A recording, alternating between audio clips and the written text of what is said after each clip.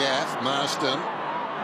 Sharon around. She got it from Prittis. On the defensive 50. Drives it to midfield. Kennedy unchecked there. This goal was set up by Dom Sheed.